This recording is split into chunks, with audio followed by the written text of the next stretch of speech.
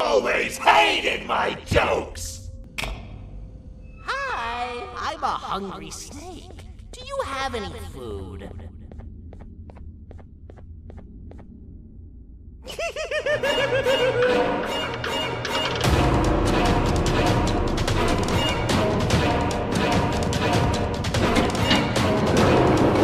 Prepare to get toasted! These toad stars never disappoint, partner.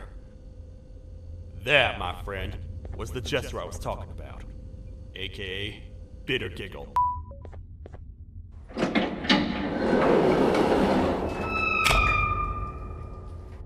Ah, are they gone? Don't worry, I. I'm not going to hurt you. I've done enough damage as it is. I know it doesn't make up for what I've done and trying to take you down, but I'm sorry. I truly am. I don't know what came over me. I just couldn't hold myself back. I knew the consequences well, and I still went ahead and said that stupid joke.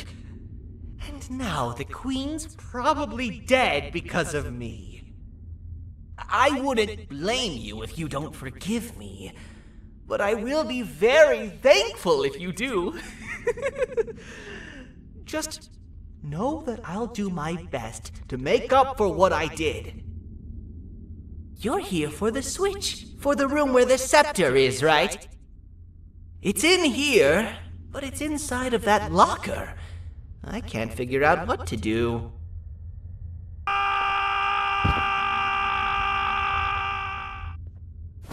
I'm still hungry.